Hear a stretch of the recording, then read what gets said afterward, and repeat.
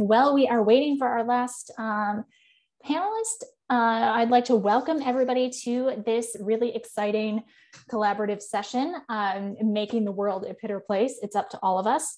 Um, so this is a collaboration between uh, Crossref, ORCID, and ROR that was really fun to work on uh, for the last couple of months. And we're really excited to, uh, to come together today to bring you this session. Um, a couple of housekeeping notes. Uh, this is part of the DataCite member meeting. Um, and we have a hashtag DataCite21 for all of our open member meeting sessions if you'd like to tweet about this session. Um, while we are getting started, feel free to introduce yourself in the Zoom chat. And as you noticed when you entered the room, this session is being recorded. We plan to share it publicly on our YouTube channel. Um, we will also share the slides after the session. Uh, if you come up with any questions throughout the session, please use the Q&A tool and we will uh, take those questions at the end of the session.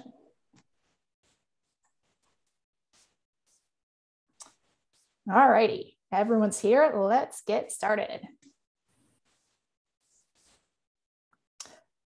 Uh, so welcome everyone. I would like to start with some introductions. Uh, we have a big old group of persistent identifier infrastructure aficionados here. Um, I am Liz Krznarich from DataCite. I'm the adoption manager at DataCite and also for the ROR initiative. I'm joined by my colleague at DataCite, Paul Vierkant. Um, we have Rachael Lammey from Crossref, who is uh, head of special programs. From ORCID, we have Tom Demeranville and Julie Petro.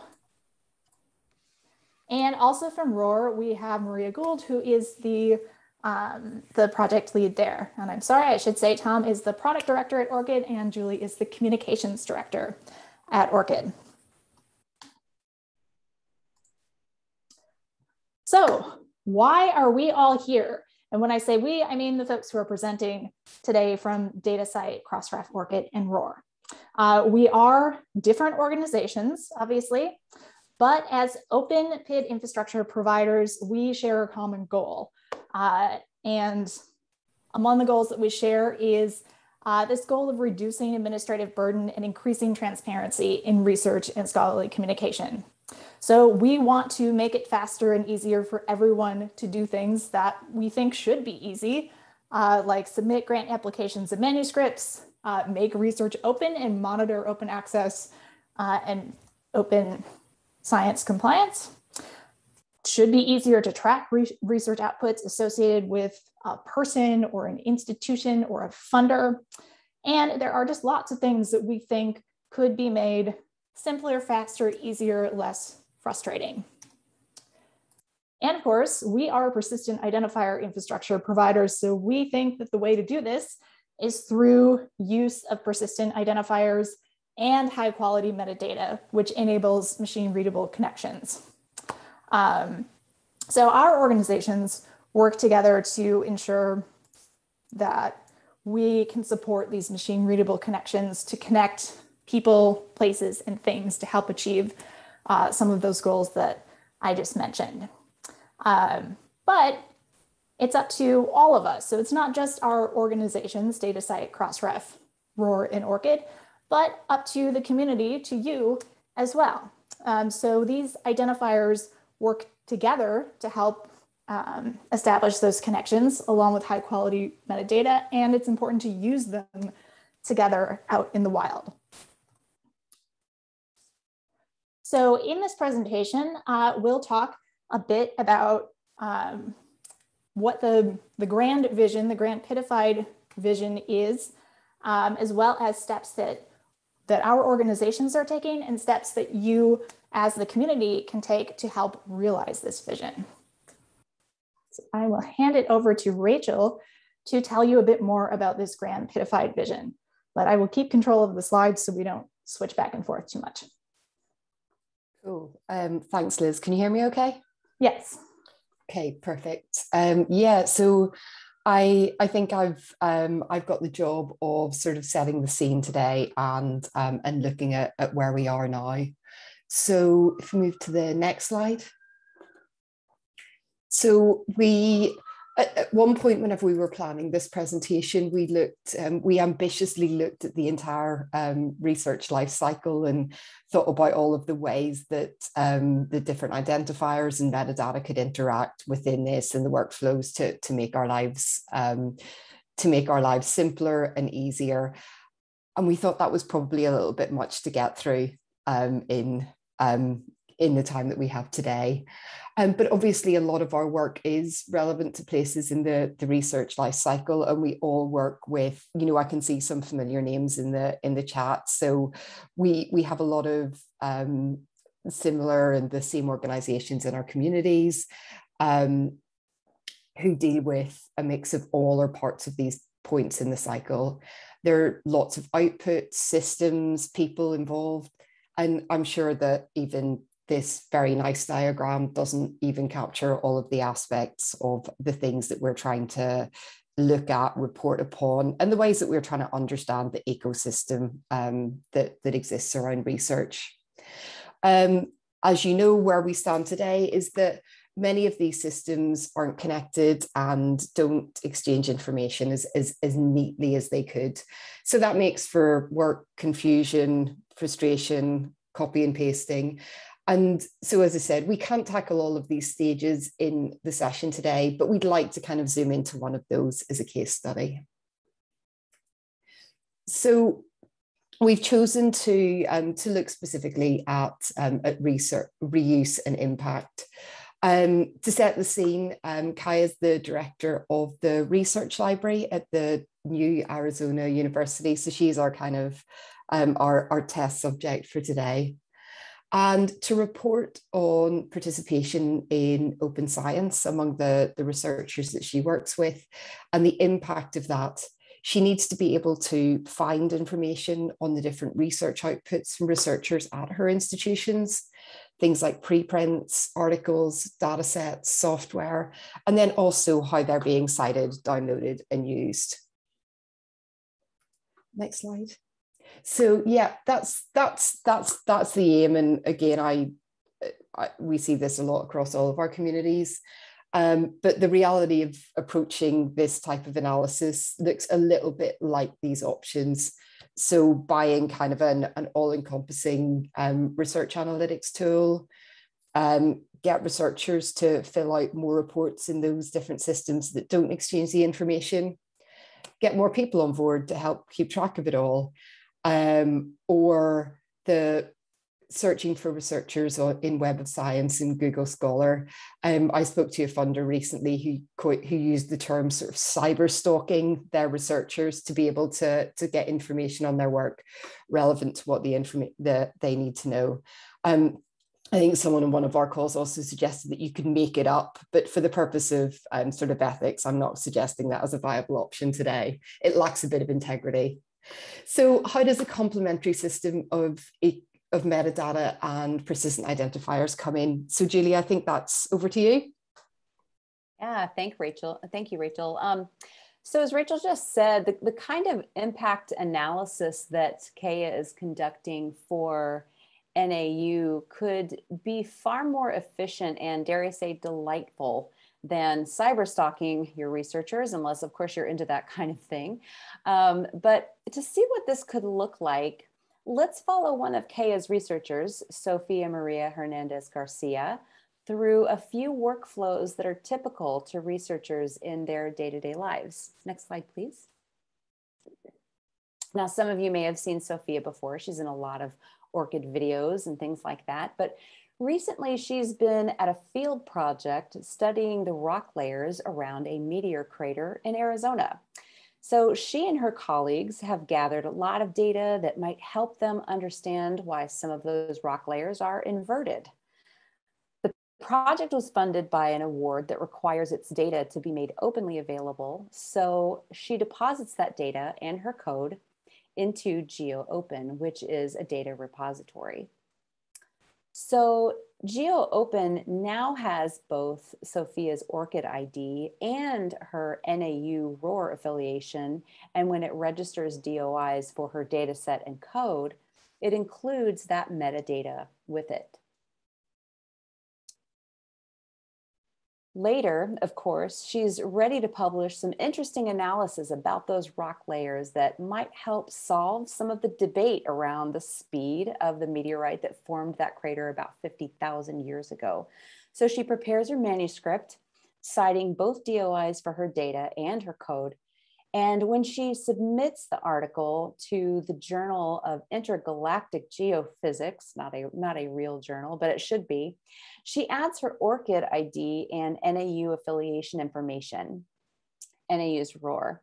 So we're skipping over a lot of detail here about how this infrastructure can help out with the peer review process, but when, when JIG publishes Sophia's article, they mint a DOI for it via Crossref with metadata that includes her ORCID, NAU's ROR ID, as well as the relationships to the DataCite DOIs for the related um, data set and code.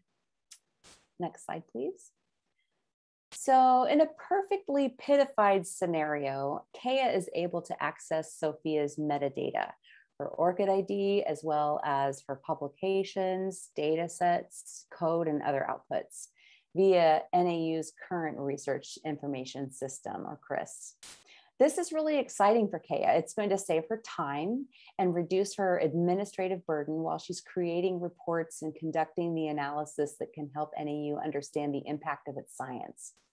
Of course, the ultimate goal is to help make Sophia and other researchers' lives easier. This complementary ecosystem of metadata and persistent identifiers helps ensure that her profile data gets to where it needs to be with minimal time or even thought on her part. So she can spend more of her time and her thought on her research, which I think is every researcher's goal. So I'm going to pass it over to Liz uh, for a deeper dive into how all of this works together.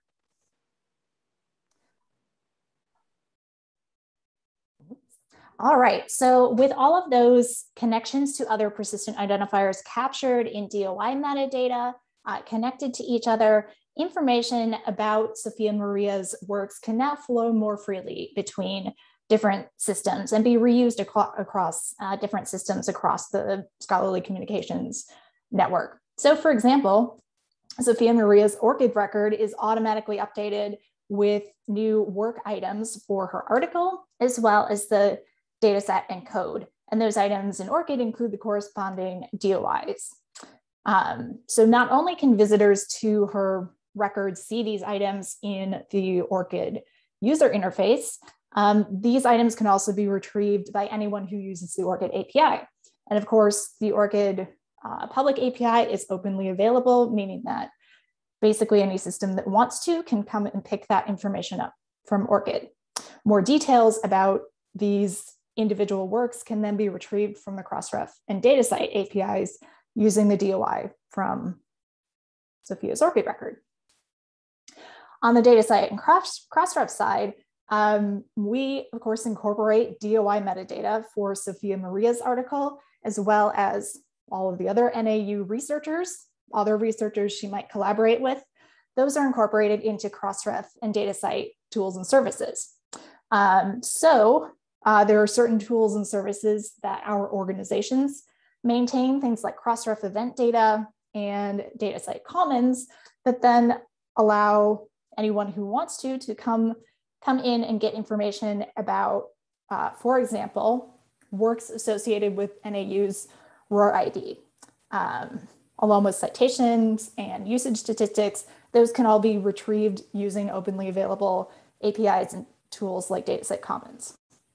Um, not only can you retrieve this information yourself from these tools, um, we have lots of other systems and organizations that consume metadata both from Crossref and from DataCite and incorporate those into their own tools and platforms. Um, so these persistent identifier connections make those tools and services work better as well. So as Julie mentioned, um, now Kaya's team has a lot of options. They can use openly available tools and data to find research outputs created by NAU researchers themselves. Um, they can uh, they can automate reporting. Researchers and staff don't need to re-enter data that exists elsewhere. And as I mentioned, other research analytics tools and services just work much better when persistent identifiers are used, they're connected to other identifiers um, and include high quality metadata. All right, so all of this is possible right now? Uh, well, kind of. Um, the plumbing actually is in place for all of, for each step in this workflow that we just looked at. There are certainly repositories, um, data repositories that, um, that do incorporate ORCID and ROR identifiers uh, into their DOIs that they're registering. Certainly there are journals uh, that do the same thing. Um, and there are tools in place, as I mentioned, like DataCite Commons, Crossref event data, where you can then pull those connections back out. Um, the piece that is missing at this moment is uh, complete, widespread, and broad adoption and implement, implementation. So we have bits and pieces of this happening all over the place, but we need more in order to fully realize the PIDified vision. So next up, we'll talk about uh, what our organizations are doing to, to help us realize that fully PIDified vision and steps that you out in the community can take.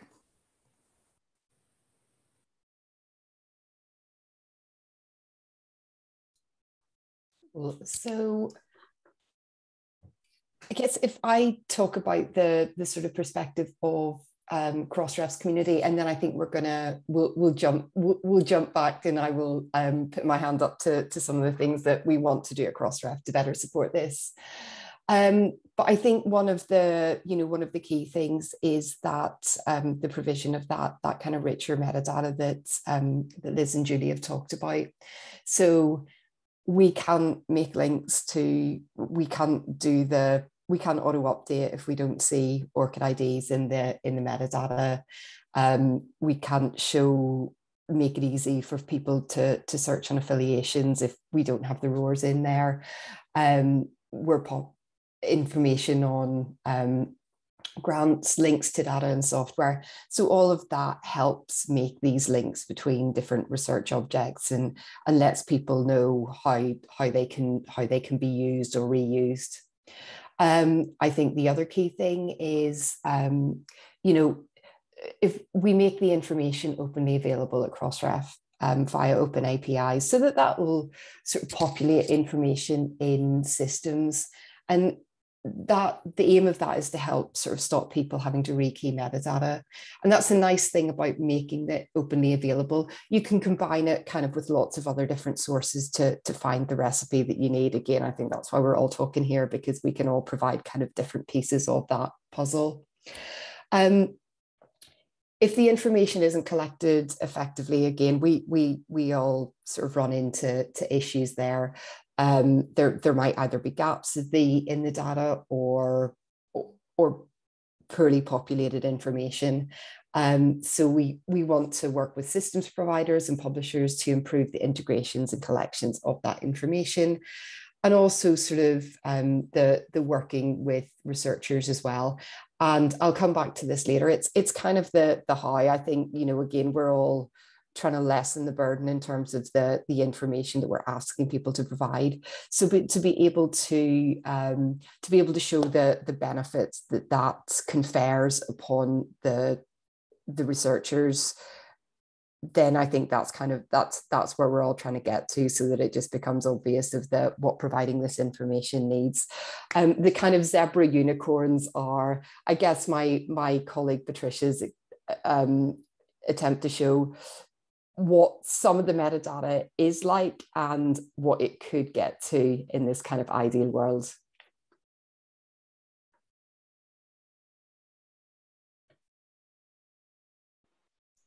All right, Paul, um, it's over to you. Thanks. And so, uh, if you're if you're a data uh, a DataCite member um, registering DOIs or an institution or a service provider um, um who provides uh, DOIs, then you should go beyond the basic requirements of the metadata fields that um, are in uh, the metadata schema, uh, which include uh, ORCID IDs, because no PID is an, an end um, in itself, and um, you should definitely use only authenticated ORCID IDs for the field of creators and contributors. Um, you should also um, have affiliations for those creators and contributors using ROR IDs. Um, also, um, for the funding references, you should definitely um, use Crossref funder IDs or IDs, as well as related for related identifiers. You should, um, yeah, put um, yeah, such as papers. You should always put them into the into the metadata. Next slide, please. And as what if you like, you only get out of uh, something like metadata what you put in. So um, then, as a next step, you um, we encourage you to uh, provide, um, if you're a vendor or a service provider, uh, to provide uh, fully support of all the fields that the metadata set, DataCite metadata schema offers. And in addition, we ask you uh, as a stakeholder to send users reports to DataCite um, so that we can uh, include them in our statistics of uh, our API. Sorry.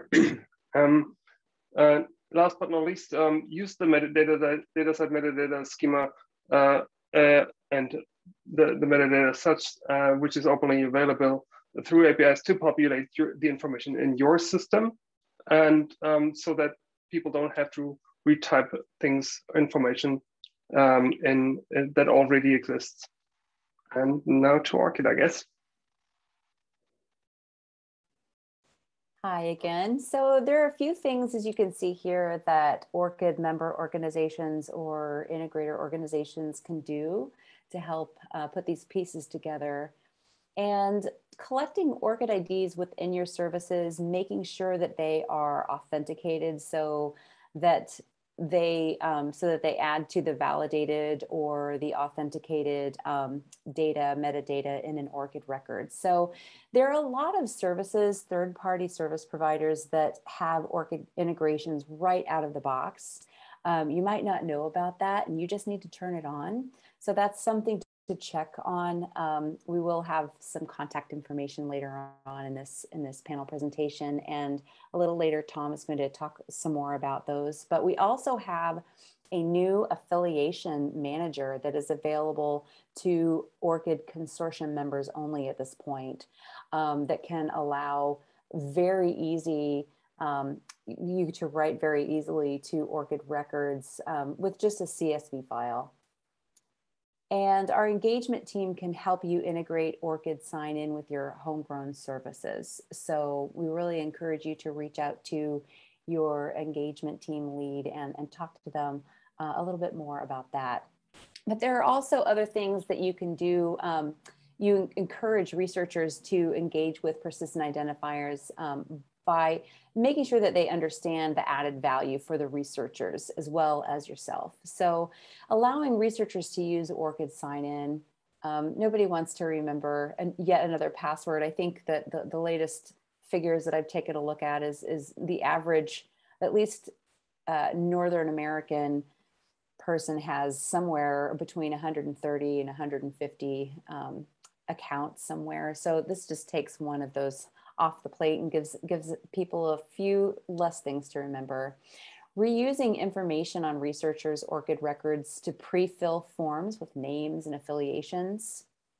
Um, can we, okay, thanks. okay. Adding information to ORCID records so that researchers don't have to rekey that manually, as we've been saying, um, reducing administrative burden, is, is one of the key benefits to researchers. So any place that you can reduce their burden there is, is a huge win for them. Um, and also allowing it to be discovered or possibly reused by others, meaning affiliations, academic services like curation or editorship, um, or any of the other credit roles that, that are now available on an ORCID record, funding information, peer reviews, and, and research outputs. Um, all of these are possibilities and explaining all of these to um, your researchers so that they understand um, why they're being asked to do things. And we can help you out there, which Tom will explain a little bit later. Over to ROR. All right, so as we've established, a main theme of, of today's presentation is it's all it's all up to us and it's all connected. And ROR is uh, ROR is an example of that as well. So there are many different stakeholders who all have an interest in clean and consistent affiliation data to, to better help tracking research outputs and their connections to individuals and other aspects of the research process. So there are a few different ways in which you all can help make the world a PIDder place by having better and cleaner affiliation data. So if you are managing or are developing some sort of system that collects or manages organizational data using ROR IDs instead of a free text affiliation string is one simple way to do that. Uh, we are also um, very excited that those who send DOI metadata to Crossref and DataCite can include ROR IDs in the DOI metadata uh, to be able to establish those connections between research organizations and research outputs um, expressed uh, in, in that DOI metadata. Uh, also excited that ORCID will be supporting ROR IDs for affiliations, and we can talk more about that bit later on. And uh, if you don't happen to have your own system, or if you don't happen to be a member of Crossref or DataCite or ORCID, you can also help support wider adoption of ROR IDs in our infrastructure by encouraging publishers, repositories, and service providers to integrate with ROR. So that is also very, very helpful. And so now that we've gone through some, some tips and, and blueprints for what you all can do to help make uh, the world a PIDder place and enable this vision, we're going to uh, flip the switch a little bit and talk about what our respective initiatives are doing to support that as well. Cool, thanks. Um, thanks, Maria. So um, I would put my hands up from the Crossref side and I would say that um, we're, we've been looking at ways that um, and devoting some time and resources in our various development sprints to looking at how we can better support ORCIDs. Um, that'll include things that, you know, like upgrading to use the, the most up-to-date ORCID API so that we can support um, different content types better. So preprints, um, in future grants and also just even you know simple things like looking at the messaging. What do we what do we tell researchers whenever they get a message about um, the fact that crossref's seen an ORCID associated with the published record? So we're nearing i think 2 million authors granting us permission to to update their records. Um, and that's about 85% of authors notified or granting granting permission. So that's that's a really good story. And those are the kind of integrations that we're really kind of we're, we're really kind of trying to encourage. Um, so supporting that better. We're building tools to help our members provide better, more complete metadata, integrations with open journal systems, um, and, and stuff like that just helps make it easier for, um, for people to do that um, as Maria said, collecting ROR IDs, but we also want to kind of extend that support for ROR throughout our different systems, put it into our participation reports to tell folks how, how they're doing in terms of depositing metadata and providing um, in-kind resources to support ROR. Um, data citations, we are in, we, we are improving event data. There should be a blog about that tomorrow, but making sure that it is that we shore up the infrastructure behind it and get the feed of references and relationships metadata that shows those citations from publishers to, um, data repositories, really kind of getting that getting that going again and there's obviously the the advocacy element there to um, to publishers to make sure that that happens adding new content types to support the things that people want to, to link to and to, and to identify persistently, participating in industry groups to, to, to play a role in that advocacy piece. And I think as well, you know, kind of again from from our perspective as well remembering the the why that we're doing this and um and collaborating with um, other organizations trying to reach the, the same points to make sure that we're we're not duplicating effort or um, initiatives that might be better better handled elsewhere and collaboratively. So lots to do on our side as well. Paul, I think back to you. Yeah, thanks, Rachael. And as you can see with the picture, we are on a similar road as as Crossref is towards uh, a common goal of uh, that means that uh, PID world is, is not a utopia. And um, in order to do that, DataCite is um, improving um, several things like uh, the ORCID auto update that we are currently uh, working on, as well as the certain link integration. Um, also, we have within our metadata schema the support of relationships to ROR IDs, ORCID IDs, and other DOIs uh, and other identifier types. Um, we are building tools that uh, Liz already mentioned, such as Commons, um, which is then again built upon the PID graph, which provides information only because there are also all of our um, PID providers, uh, which open have open um, information, which is crucial, I think, to, to science that open science is only possible because of openness and, and the metadata that um, is within those open PIDs. Um, and we um, directly and indirectly support ROR uh, through staffing, uh, leadership, um, and yeah, concrete infrastructure hosting, and um, yeah, being a, a, governing organization and partner organization of, of ROR as an uh, open science infrastructure. And then we, not last but not least, we are participating in, com in community groups uh, such as uh, EOSC, uh, RDA, um, etc., in order to to um, yeah support and foster open science and open access and uh, data citation and reuse. So it's uh, now over to ORCID, I guess. Great, thanks. I think I'll take this one. Um, so yeah, we've got quite a dense slide. We're, we're up to all sorts of things, um, but they're they're all kind of organised into these four strategic themes. So we're trying to focus our activities around increasing value um, and participation, whilst also maintaining trust and integrity. One of the most direct, straightforward things we're doing is integrating ROR. Um, that's gone live in our APIs very recently, so you can actually use ROR and ORCID together. We're just about to update, um, release an update to our affiliation manager, which is part of our kind of member services stack. Um, and that's going to have ROR in it um, very soon too. And hopefully later in the year, um, at the very latest, I expect will be the early next year, we'll be updating our user interface to, to also fully support ROR. in fact, hopefully moving to kind of a ROR first view from ORCID so that we can reduce some of the confusion. I noticed there was a question about that in the chat, which maybe hope we can get to later in the questions. Um, the other things we're doing is we're just we're really trying to focus on our UX. Um, to, uh, there was another comment made about our UX being slightly out of date. We just released an update to our public page. We're going to be updating our um, researcher pages where they manage their own information.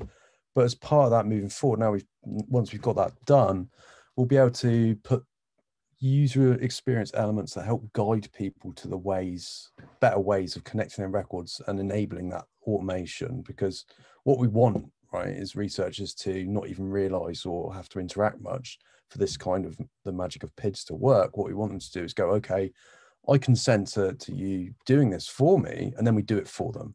Um, so we're going to be help, hopefully building more user kind of workflows that make it as simple as possible to enable the automation that, that they actually want. Um, we're working closely with vendors. We see we've got, you know, as our membership at ORCID expands, it's getting harder and harder for us with a small staff to kind of manage all these these individual relationships. And one of the things that we see is um, building your own integration is really, really not really, really difficult. It's difficult though. Um, whereas if the systems you already use support ORCID or any of the other PIDs, um, it's a lot easier to basically turn it on than it is to build all this stuff again yourself. So we're focusing a lot of attention on working with vendor third party systems, however you want to call them, so that they fully support PIDs and, and use them in the way they're supposed to be used. Um, we're also continuing to explore new use cases and building out our tools to kind of help people um, execute the, the workflows and, and fulfill their use cases. But most importantly, we're trying to more and more talk to our users about what those key the, the, the, key benefits that they see that PIDs can provide and trying to fill in the gaps where we're maybe falling short um, and concentrating our efforts on what's actually really, really useful rather than what just seems useful, if that makes sense. So yeah, like I said, we're doing an awful lot. Um, same as everyone else, uh, working together to make to make this better, essentially.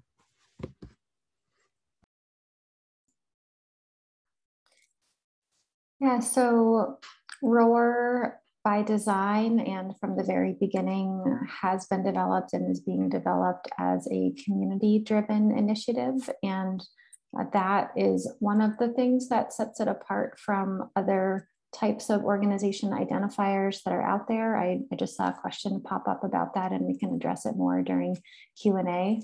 But the idea is that ROR is specifically addressing this problem of how to identify research affiliations in our infrastructure and that we are designing you know the registry and ROR IDs to to be able to work very easily with other identifiers and other parts of our infrastructure, which is why ROR IDs are being supported in Crossref and DataCite and ORCID. So this is, you know, being being a, a collaborator with fellow infrastructure providers in this open PID and open metadata space is really important.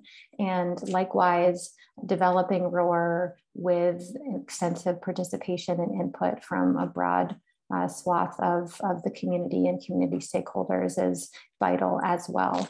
So we have a number of different community groups, which anyone is welcome to join to uh, be able to give feedback on ROR and hear updates and get involved in various ways.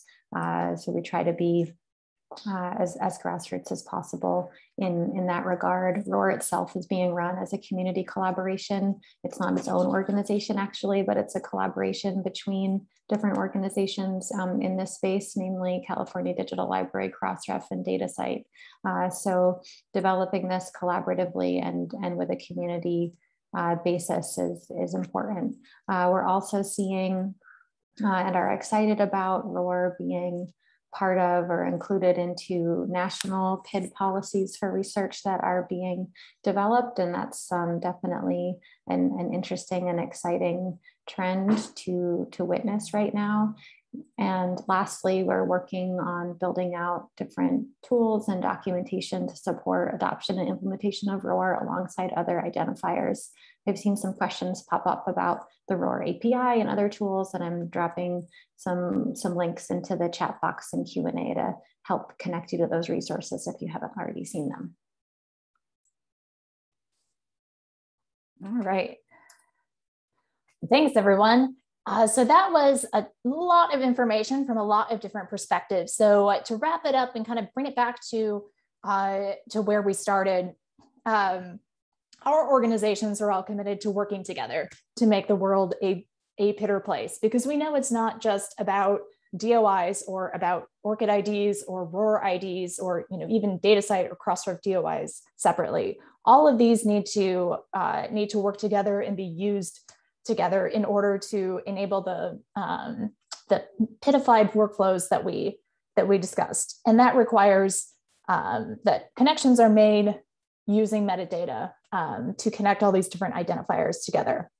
So we are continuing to work together and we um, are asking all of you in the community how you might uh, be able to, to help make the world a PIDder place. Um, and I saw a question in the Q&A about, you know, what are the next steps? What do we need? What do we need to do? What are the first steps? Um, and I and so I think one of the um, one of the key points here is it's about implementation in part, integrating uh, not just DOIs, not just ORCID IDs, and not just ROR IDs, but all of these things into your systems and workflows. Um, of course, before implementation can even happen, there's a lot about policy um, around this. So your institutional policies for researchers and vendors, it's about funder and publisher policies um, for, for researchers, which does require uh, advocacy for support of persistent identifiers generally. Again, DOIs, ORCID IDs, ROR IDs, and other types of IDs um, so that they can all work in combination. So advocacy for support by system vendor, vendors, um, support from publishers and funders as well. And I see there was a question about outreach to researchers as well, which I think, although we want to work toward this goal of automated, transparent, everything, there is still an element of outreach to researchers because that metadata component is so important. So in cases where, um, for example, we saw uh, Sophia Maria submitting her data set and code to a repository, um, some amount of engagement to make sure that folks are using their ORCID IDs, um, that they're filling out metadata forms completely. Uh, they don't need to necessarily understand everything about what goes on under the hood, but there are a lot of metadata fields that are optional if you're submitting a data set and it's a big long form. Um, and it's important to capture as much of it as, uh, as we possibly can, because that just makes all of these systems and connections work better. Could I add on to that really quickly? Sure. Uh, yeah. So from, from an ORCID perspective, that was a really good question. Why should we be educating researchers? Um, just, just adding on to what um, to what Liz was saying, a lot of times we're finding that researchers don't really understand what the value is to them. And they maybe had to um, create an ORCID record um, just for the purpose of submitting a manuscript, for example, or applying for funding. And they did it out of necessity. They didn't really understand why they were doing it. And the truth is that ORCID record could be so much more useful to them if they made if they enabled some connections if they identified some trusted organizations. So until we get this critical mass of everybody just gets it you know every you know maybe it's being shared at an early part um, of um, a researcher's education for example um, there is some kind of um, adoption and advocacy that that we need to do at least from an ORCID perspective um, but that's a great question. We do eventually want it to be completely be under the hood and they'd never have to even think about it again. Indeed. Um, so I see we have plenty of questions and hopefully we'll have plenty of time to get those answered. Um, if you do need help or have um, have more in-depth questions about uh, implementing a particular persistent identifier, you can contact us through our support uh, and information addresses. We will be posting these slides, as I mentioned, and, and the video, but let's get on to the questions because we have we have quite a few. All righty, so let's take this first one. So citation of data is very important to the community. As data publishers, we can include citations in DataCite metadata, but this is really the wrong way around the direction of the flow of information about data citation should really be from the journals.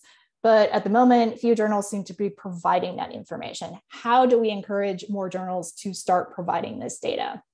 Um, I'm wondering, Rachael, do you want to talk a little bit about how citation of, we'll say data sets or or code things that might have DataCite DOIs, how that works in from the Crossref perspective and how what's what's on the what's coming up that might increase uptake? Sure. Yeah it's um it, so from the said from the the crossref perspective the the journals can provide links between um, between articles and data either in the relations um, section of the metadata which is similar to, to how DataCite supports this or they can put them in in reference lists. Um, and I think we obviously we collect both of those things we make them available via our um, our apis and the thing i think that we've been devoting quite a lot of time and effort to this year is making sure that those those relationships flow into both um, both sort of crossrefs event data but also into um, via our the the Scholix API endpoint that we support so that it can be used by all of the, the folks who use Scholix.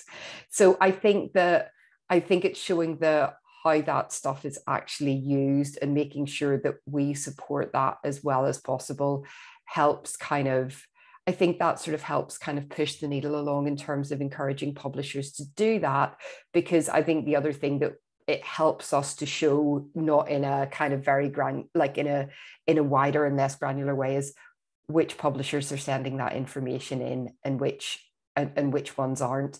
And there are groups that we're working with. As said, we've been um, we're working with OASPA along with the folks at um, CDL and Make Data Count to to work out how the resources that, that publishers need, both sort of educationally, so the policy side that Liz mentioned, and also technically. And STM also have kind of a working group that are really trying to, they're really, they're trying to get publishers to, to have this as an area of focus within their organization so that the work to do this gets done.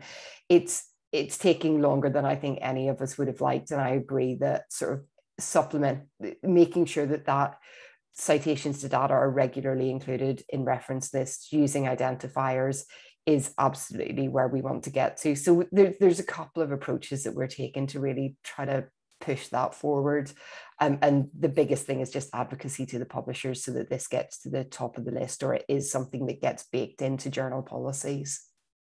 Yeah, I would say on the DataCite side, we don't have a lot of interaction directly with the, the publishers, but we are starting to get this sort of question from funders um, who ask us, okay, I, I know what to tell my researchers about you know how they get a DOI for their data set, what metadata they need to add there. Now, how does it get into the publication? Um, so we're um, having some conversations with the, the funders once we can explain how does this work? Okay, it needs to go in the reference list. Um, we've had you know some some successful cases where then you know funders in a specific area go off to the publishers and say, this is what uh, this is how it works. Can you support this this workflow? So that's one angle that we are are working from. I think the, I know we've loads of questions. We're also working to add the collection of data availability statements into our metadata. So again, as you said, if that's the default way that publishers are doing it, then that should help us pick up more of these. Okie doke. Next up, slightly concerned about the building the places we fly it nature of partial PID implementation, despite significant progress achieved so far. A real life open science reporting case study would be, for instance, include, would, for instance, include filtering by research funder, outputs of one kind or another that acknowledge funded projects by a given funder. How long will it take us to get there?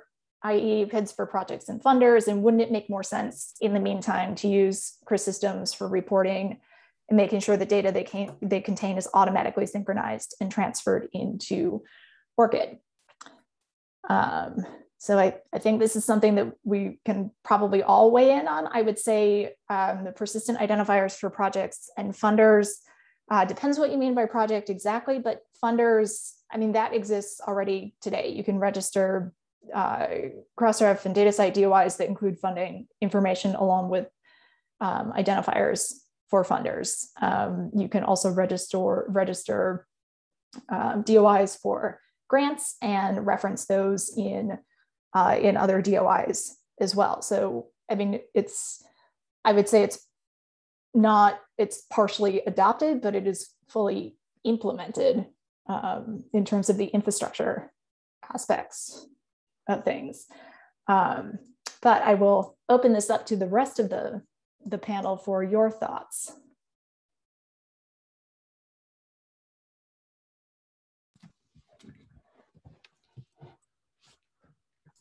So I, I could chip in. I think I think one of the things is like like you just said, Liz. A lot of this infrastructure is in place. You know, the the funder identifiers and things like that. Um, but the fact that we as PID providers have built it um, doesn't mean that it's in use as much, or at least not in use in the places that that some people would like to see it in use. And that's why we continue to kind of work with work with the vendor systems mainly that, that are that are responsible for making sure this metadata is populated correctly when people do things like deposit data sets or submit manuscripts so that this metadata is all linked up. Um, so I don't know when we'll get there but we do see small incremental gains year on year that, that mean we're getting more and better metadata as we go along. So it's mm-hmm. just a big, long work in progress, I think. Yep, I totally agree that it is more on the side of integration with external systems than um, than with the PID infrastructure at this point, since so much of these pieces all exist in the infrastructure. It's more of an adoption and integration question. Yeah, and and towards that, I mean, we're all doing we're all doing things to try and make it easier for people to do these integrations, and we're all doing things around comms and case studies and talking to people and outreach, try and encourage encourage uh, various uh, systems to use it. Um, and there's just always a little bit more to do, unfortunately.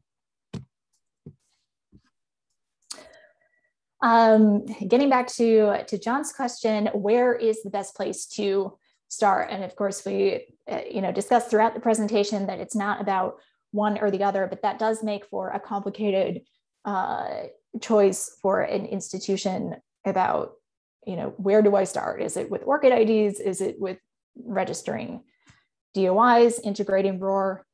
Where where to start? I think our different organizations, we may all have different perspectives on this, on this question. So I'm going to chip in again. So I'd say, at least from an ORCID perspective, but I think it applies to everyone, is you start with things. If you want people to do things, start with something that's actually useful to the people that need to do it. I know it sounds quite simple, but if you if you want people to have an ORCID ID, um, provide something that gives them value for creating it, and then they'll actually go off and do it. Um, and it's the same for, I'm sure, if you want people to deposit data or, or, mint DOIs and things like this, if they have a reason that benefits them for doing it, they're much, much more likely to do it. So I'd say start by looking for those things. Yeah, I think a, a key here is um, once you you know start from a, a particular perspective, don't stop there. It's not just about adapting ORCID, it's about you know ensuring that DOIs are connected to ORCID records and that um, uh, ROR IDs are connected to ORCID records, and those are both into connected into DOI metadata.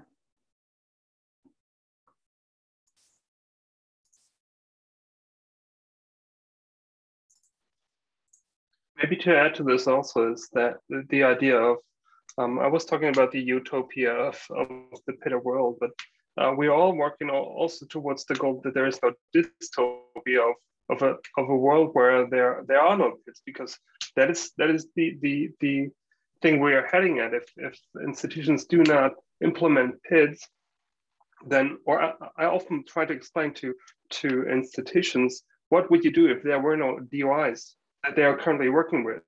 And imagine the same thing for all the other objects, like the ROR ID or uh, the ORCID ID that we're talking about. And th this makes uh, makes it visible or um, people understand how important they are because they're currently already using, um, have been using DOIs uh, for, for decades now.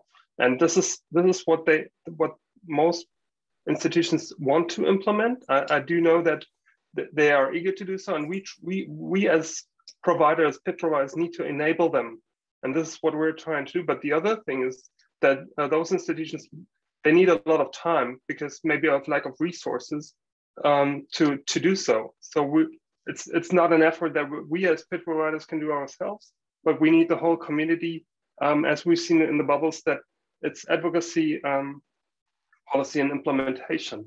But uh, the, the goal should be that we're working working towards the the, the PIDA world uh, as a utopia that may, might not remain in utopia, but the real world in the future. Okay, we have a suite of questions that are all kind of interrelated that I think are a really good um, a really good set of questions to to end on. So I'll quickly summarize these. Um, curious about advice and strategies to communicate about integrating these multiple PID APIs. Um, or ORCID Canada members are surprised that they need to learn not only to use the ORCID API, but Crossref DataCite, which, um, which you may know have similarities, but also complete, you know, every API has its own um, idiosyncrasies and its own, you know, process of getting credentials. Um, so related, We'd appreciate guidance on overall ecosystem approaches across all PIDs. And finally, is the PID graph the way forward in integrating the various PIDs together with their respective linked metadata? And I think this is a, a great question for the, for the group that's assembled here.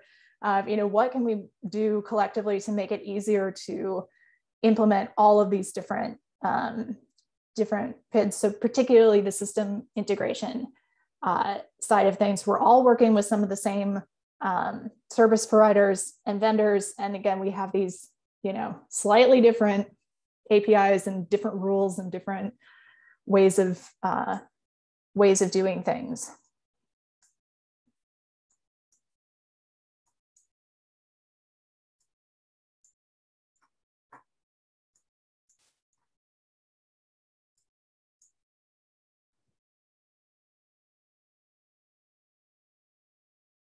So do we have thoughts and recommendations on how to uh, how to make this easier for everyone? From the DataCite perspective, um, we uh, we do see the the PID graph as a partial way forward, I would say, in integrating the various persistent identifiers. That does, I mean, it's DataCite Commons. It's based on uh, a service called the PID graph that does um, that does harvest data from from those various sources, and then it can be queried through a single um, a single API or a single interface. Um, that said, it's still under development. It's not perfect yet. It does not include all the Crossref uh, Crossref metadata yet. Um, that's what we are working towards. So that, for some situations and some instances, could be a you know a possible solution. I'm just going to talk quickly to John's question because it's specific, I think, to because it's from an ORCID perspective, right? and and the, the, the the thing there is, um, when people look at ORCID, the metadata that we have in the ORCID registry, it doesn't include, in some instances, it doesn't include um, specific pieces of metadata about works or data sets they'd like to have, and mainly this is a problem around uh, other contributors than the record holder with with the thing in. Um, so that is something we're working on at ORCID, um, and we're hoping to, hopefully, some point next year, enable people to start enriching their own data if the contributors are missing. And we're also trying to point people at other services like Crossref or DataCite to make sure that metadata is complete within ORCID, so that people don't have to go to multiple places. But in the end, it is a very difficult story to sell, isn't it? That you know you're not just doing one system, you're doing three. And we've always had this problem from the very beginning of um, ORCID. And I remember working on Odin when DataCite was very beginning as well. Um, and we've given that problem to Crossref, right, by by us appearing. Um, now they have the same problem because now they say, well, that information is somewhere else, um, and it's it's a it's a it's a perennial problem that we we just have to keep working on working out ways of making it easier i suppose. Right and it's a, a topic that's appearing in the the DataCite uh, upcoming strategic plan to you know look at ways how can we supplement the metadata that uh, exists in DataCite without touching the the actual DataCite record? How can we incorporate this metadata that we know exists in other sources that might contain you know those key missing mm-hmm. missing fields? Yep we're looking at that too yeah, and I know, and we yeah, I know Crossref are looking at that because we've been chatting about you know how we might actually do these kind of things and work together on these problems. So yeah, it's they're, they're great questions, and it's not something we're we're we're ignoring. It's just tricky to untangle.